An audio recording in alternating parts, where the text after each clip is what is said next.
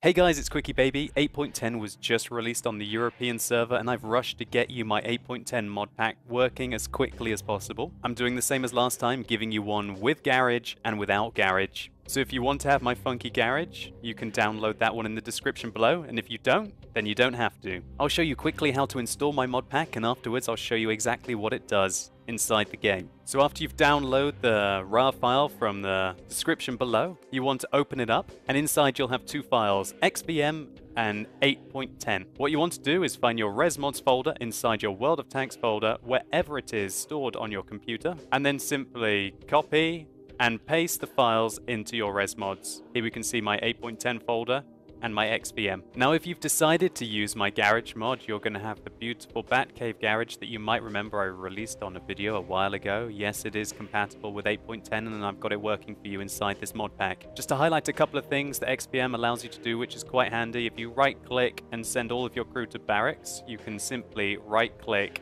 and put them back in with two clicks. Saves you a lot of clicking and that's probably one of the useful tools of XVM. More importantly, it's what XVM does when you're in the battle that counts. Let's get stuck in there and I can highlight what more my mod pack does. So when you're loading in, you're going to have some stats available for all of the players, their number of games played, their efficiency, and their total win percentage in World of Tanks based on the whole of their games played. XVM will also estimate your percentage chance to win you can use this as an indication of how aggressively you might want to play and how hard you might have to carry your team.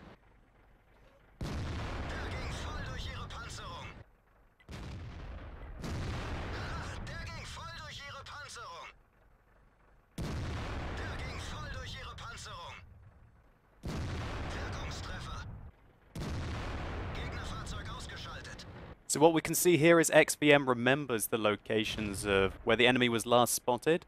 So you can use that on your minimap to your advantage.